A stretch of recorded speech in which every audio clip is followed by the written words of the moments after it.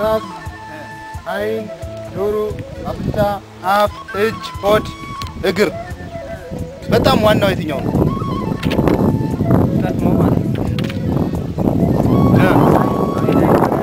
አይን። በቃ አይንን አስቀምጠን ሌላው እናስወግደው።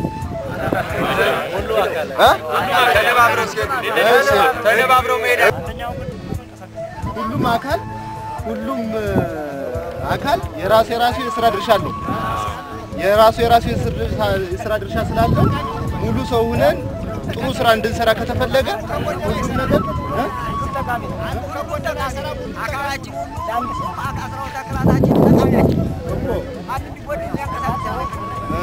የትኛው አካል ይሻላል ነው?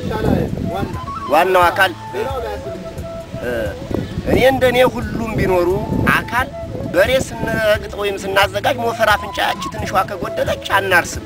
በእርግጥ አይንን ያው 18 ዓመት ለስራ የደረሰ ወጣት እግርን ያው እንደ አባወራ እንደ ሴቶች ያው ሁሉም ለስራ የደረሰ ሁሉ በልማቱ እንዲሳተፍ ሁሉም አካል በዛ ይመስላል። በሙሉ መስራት የሚችለው ወጥቶ ባለሙያ ካላሳየን ይህም ሆኖ ነው ይህን ያህል ዓመት ዝም ብለን ስለፋ አይኖርም። ስለዚህ በመጀመሪያ ባለሙያ መስመር ሰጭ ባለሙያ ያስፈልገዋል። ከዚያ መሳሪያ ያስፈልጋል። ባለሙያ ደግሞ አሁንም እንትን ብሎ ህዝብ ደግሞ አለ መሳሪያ እንትን አይልም። መሳሪያ ያስፈልጋል፣ ሙሉ መሳሪያ።